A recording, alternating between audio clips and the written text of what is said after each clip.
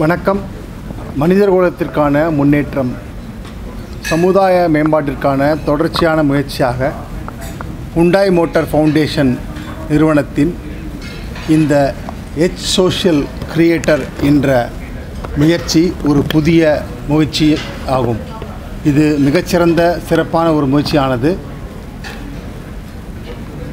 ஆரோக்கியம் சுற்றுப்புற சூழ்நிலை முன்னேற்றம் சாலை மேம்பாடு மற்றும் பாதுகாப்பு தூய்மையான இந்தியா போன்ற துறைகளில்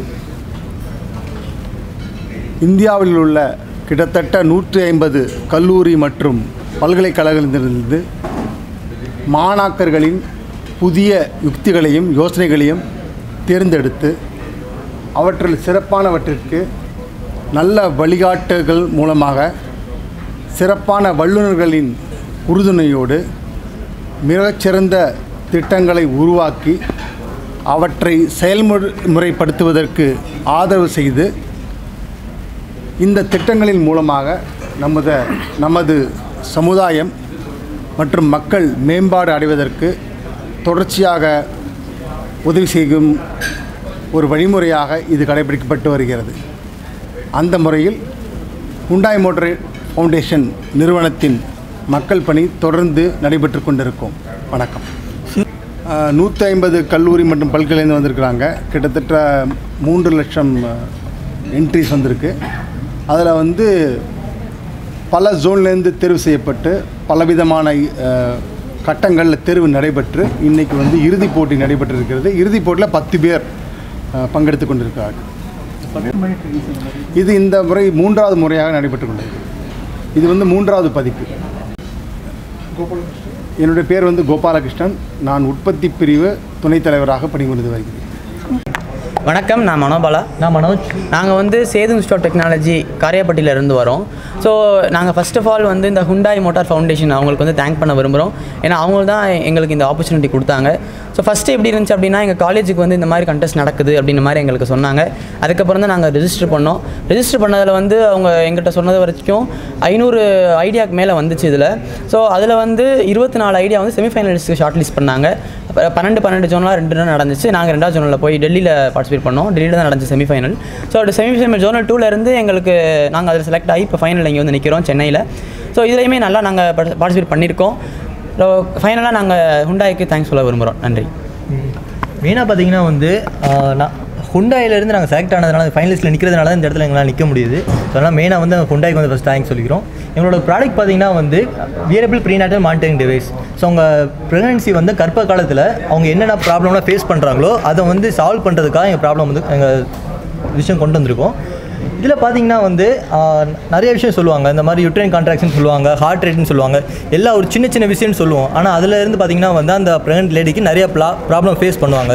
அதை ஃபுல்லாக வந்து நாங்கள் வந்து அவங்க இருக்கிற டைம்லேயே வந்து எப்படிலாம் வந்து அவங்க சால்வ் பண்ணலாம் வீட்டில் இருந்து எப்படி வந்து அவங்க சால்வ் பண்ணலாம் அப்படிங்கிற விஷயம் தான் ஏன்னா மெயினாக நாங்கள் எடுத்த ரீசன் பார்த்தீங்கன்னா வந்து சிட்டி பீப்புள் ஓகே ஆனால் வந்து வில்லேஜ் சைடில் உள்ள பீப்புள் பார்த்தீங்கன்னா வந்து எந்த ஒரு ப்ரெக்னென்ட் லேடியாக இருந்தாலுமே வந்து அவங்களுக்கு வந்து ஈஸியாக அக்சசபிள் பண்ண முடியாது. அதே மாதிரி வந்து ஹாஸ்பிட்டல் போயிட்டு வரதாக இருக்கட்டும் அந்த செலவாக இருக்கட்டும் வெளியில் போய் சிடிசி செலவாக இருக்கட்டும். ஸோ எல்லாமே பார்த்தீங்கன்னா வந்து அதிகமாக தான் இருக்குது அவங்களால வந்து எல்லா டெய்லியும் வந்து மானிட்டர் பண்ண முடியாது. அதனால தான் வந்து எங்கள் ப்ராஜெக்ட் கொண்டு வந்திருக்கோம். எங்கள் ப்ராஜெக்டோட ரேட் பார்த்தீங்கன்னா வெறும் 10000 ரூபாய் தான். வீட்லேயே அவங்களால வச்சு அவங்களால வந்து அக்சஸ் பண்ண முடியும். இதில் பார்த்தீங்கன்னா வந்து ஹார்ட் ரேட் அவங்க குழந்தையோட ஹார்ட் ரேட்டாக இருக்கட்டும் மதரோட ஹார்ட் ரேட்டாக இருக்கட்டும் அது ரெண்டையும் நாங்கள் வந்து பார்க்குறோம். அது மாதிரி பார்த்தீங்கன்னா ப்ரீத்திங் ரேட்டு ஸோ அந்த ப்ரீத்திங் ரேட் ஏன்னா வந்து நிறைய விஷயம் நாங்களே கேள்விப்பட்டிருந்தோம். ஏன்னா வந்து அந்த எனக்கு தெரிஞ்சவங்க ஒருத்தவங்க கூட பார்த்தீங்கன்னா வந்து அவங்க குழந்தை வந்து வயிற்றுல இறந்து போயிருக்கு. அஞ்சு நாள் கழிச்சு தான் வந்து அந்த விஷயமே அவங்களுக்கு தெரியுது. ஏன்னா வந்து அவங்க அவங்களுக்கு வந்து பசி எடுக்காமல் இருக்கும்போது தான் வந்து அவங்க டாக்டர்கிட்ட போய் பார்க்குறாங்க. அப்போ தான் அந்த விஷயம் தெரியுது. இதுவே அவங்க வீட்லேயே வந்து அவங்க அந்த டெக்னிக் இருக்குது அந்த வீட்லேயே வந்து அவங்க ப்ராஜெக்ட் இருக்குது அப்படின்னா வந்து அவங்க வீட்லேயே கூட அவங்க அக்சஸ் பண்ணி குழந்தை இறந்து போனது அப்போ கூட அவங்களால தெரிஞ்சிருக்க முடியும். ஆனால் அந்த விஷயம் இல்லாதனால தான் வந்து அவங்க வந்து கொஞ்சம் டிலே பண்ணி பார்க்குற வேண்டியதாக இருக்குது இந்த மாதிரி நிறைய விஷயம் வந்து ஸோ நிறைய பேருக்கு வந்து யூஸ் இந்த மாதிரி விஷயம் கொண்டு வரும்போது நிறைய பேருக்கு யூஸ்ஃபுல்லாக இருக்கும். ஸோ அதை பேஸ் பண்ணி தான் அதை கொண்டு வந்திருக்கோம். மற்ற மாதிரி இப்போ பார்த்தீங்க அப்படின்னா இப்போ இருக்கிற டெக்னாலஜியில் வந்து சிடிஜி டெஸ்ட்டு டாப்லர் சவுண்ட் அப்படின்ற மாதிரிலாம் நீங்கள் கேள்விப்பட்டிருப்பீங்க. அதெல்லாம் இப்போ வந்து ஒரு மாதத்துக்கு ஒருக்கவோ இல்லை வந்து ரெண்டு மாதத்துக்கு ஒருக்கவோ வந்து கர்ப்பிணி பெண்களுக்கு எடுப்பாங்க. ஸோ ஆனால் அது அதோட காஸ்ட் எப்படி இருக்கும் அப்படின்னா ஆயிரத்தி ஐநூறுலேருந்து ரெண்டாயிரம் வரைக்குமே ஒவ்வொரு மாவட்டத்தை பொறுத்து மாறும். இப்போ நாங்கள் மதுரைன்னு வரும்போது வந்து ஆயிரத்தி ஐநூறுரூவாய்க்கு மேலே தான் அது வந்து வருது. ஸோ என்ன தான் ஒரு கர்ப்ப பெண் கர்ப்ப காலகட்டத்தில் உண்மையிலேயே கஷ்டப்படுற ஃபேமிலி எல்லாத்துக்குமே ரொம்ப கஷ் கஷ்டமாக இருக்கும் அவங்களுக்கு. ஆனால் இப்போ எங்கள் ப்ராடக்ட்னு பார்த்தீங்கன்னா இது வந்து பத்தா அதாவது ஒன் டைம் காஸ்ட்டை நாங்கள் இந்த டிவைஸை கொடுக்குறோம் அப்படின்ற போது பத்தாயிரரூபா கிட்ட நாங்கள் வச்சுருக்கோம் இப்போதைக்கு. ஆனால் நாங்கள் அடிஷ்னலாக நிறையா மேனுஃபேக்சர் பண்ணுறோம் இந்த டிவைஸ் அப்படின்ற போது இதுவும் கண்டிப்பாக இது குறையும். அதே மாதிரி இப்போ நம்ம ரூரல் சைடில் நம்ம கிராமத்து சைட்லாம் நம்ம பார்க்கும்போது நிறையா நம்மளுக்கு ஹாஸ்பிட்டல்லாம் அவைலபிலிட்டி இருக்காது. நிறையா தூரம் அவங்க கடந்து வந்து ஹாஸ்பிட்டலுக்கு வர மாதிரி இருக்கும். அங்கே வந்து அங்கன்வாடின்னு சொல்லுவாங்க பால்வாடி. அந்த மாதிரி கிராம சைடில் எடுத்துக்கிட்டோம் அப்படின்னாலே வந்து ப்ரெக்னென்ட் லேடியை மானிட்டர் பண்ணுறதுக்கு வந்து ஒரு குறிப்பிட்ட இடம் வச்சுருப்பாங்க. நர்சஸ்லாம் அந்த இடத்துல வருவாங்க. ஸோ அவங்களுக்கு வந்து இந்த நம்ம ப்ராடக்ட்டை கொடுக்கும்போது பத்து ரூபாலேருந்து இருபது ரூபா வரை இருபது ரூபா வரைக்குமே இந்த காஸ்ட்டு அவங்களால எடுத்து முடிஞ்சு அவங்களால மானிட்டர் பண்ணிக்க முடியும். ஸோ இது வந்து மற்ற இப்போ இருக்கிற டெக்னாலஜிக்கும் எங்கே இருக்கிற ப்ராடக்ட்டுக்கும் இல்லை டிஃப்ரென்ஸ் தான் இது. நாலு பேராமீட்டர்ஸ் பார்க்குது ஒன்று அதாவது கர்ப்ப பெண்மணியோட ஹார்ட் ரேட்டு குழந்தையோட ஹார்ட் ரேட்டு பார்க்கும் அது மட்டும் இல்லாமல் யூட்ரைன் கான்ட்ராக்ஷன் அப்படின்னு சொல்லுவாங்க. அதாவது இப்போ நம்மளுக்கு இப்போ பிரசவ வலி வருது பார்த்தீங்களா பிரசவ வலி வருது வந்து எப்படி வருது? அது எந்த ஒரு காரணத்தினால வருதுன்ற அதை நம்ம மானிட்டர் பண்ணணும். ஸோ அதுதான் அந்த யூட்ரைன் கான்ட்ராக்ஷன் அது போக வந்து நம்ம குழந்தையோட ப்ரீத்திங் மூமெண்ட்ஸையும் அது பார்க்குது. அது பை பண்ணுறது வந்து எங்கே அவைலபிள் கேட்க புரியல.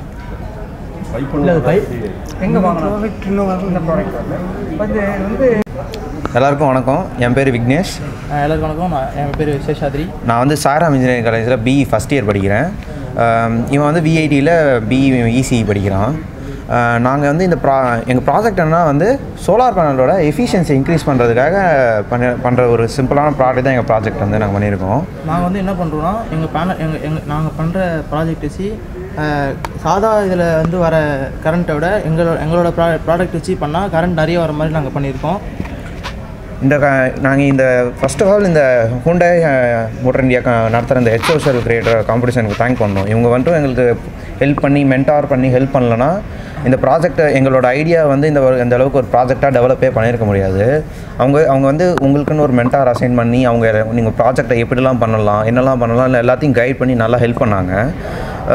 இது ஒரு நல்ல ஆப்பர்ச்சுனிட்டியாக இருந்துச்சு. இதில் ஜெயிச்சா ஃபிஃப்டீன் லேக்ஸ் சீட் இன்வெஸ்ட்மெண்ட் கொடுத்து உங்களுக்கு வந்து அந்த ப்ரா அந்த ப்ராஜெக்டை ஒரு ஸ்டார்ட் அப்பாக வந்து இது பண்ணுறதுக்கு ஹெல்ப் பண்ணுவாங்க அவங்களே. ஃபுல் அண்ட் ஃபுல் எல்லாத்தையும் கைட் பண்ணி அவங்களே ஹெல்ப் பண்ணுவாங்க. இப்போ நீங்கள் சோ இது பார்த்தீங்கன்னா இப்போ நார்மல் சோலார் பேனல் எடுத்தீங்கன்னா நிறைய இடம் எடுத்துக்கும். எஃபிஷியன்சி வந்து கம்மியாக இருக்கும். இருபத்தி மூணு பர்சன்டேஜ் தான் எஃபிஷியன்சி ஜென்ரல் அந்த டெஸ்ட் கண்டிஷன்லாம் இல்லாமல் வெளில வந்தால் எங்களுது எடுத்தீங்கன்னா அந்த எஃபிஷியன்சி வந்து தியரட்டிக்கலாக ஃபோர் டைம்ஸ் அதிகமாகும். அதுக்கப்புறம் வந்து சர்ஃபேஸ் ஏரியா அதாவது சோலார் பேனலில் வச்சுருக்க ஏரியா வந்து குறையும். கம்மியான ஏரியாவில் அதிகமான அவுட்புட் வர மாதிரி வந்து நாங்கள் ப்ராஜெக்ட் பண்ணியிருக்கோம். ஸோ என்ன காஸ்ட் எஃபெக்டிவ் என்னவாக இருக்க போகுது அதாவது இப்போ normal cost per average industry பார்த்தீங்க இண்டஸ்ட்ரி காஸ்ட் பர் ஆவரேஜ் பார்த்தீங்கன்னா நாற்பத்தஞ்சு ரூபா பர் வாட்டு இதுக்கு இண்டஸ்ட்ரிக்கு விற்கிறது எங்களுது பார்த்தீங்கன்னா சோலார் பேனலோட ப்ரைஸும் எல்லாத்தையும் ஃபேக்டர் பண்ணி பார்த்தீங்கன்னா வெறும் இருபது ரூபா தான் வரும். அது வந்து கிலோவாட் ஹவராக பார்த்தீங்கன்னா எப்படியும் வந்து மூணு ரூபா பர் யூனிட் விற்றாங்கன்னா எங்களுது வந்து ஒரு ரூபா அதை விட கம்மியாகவே வரும். இந்த ப்ராடக்ட்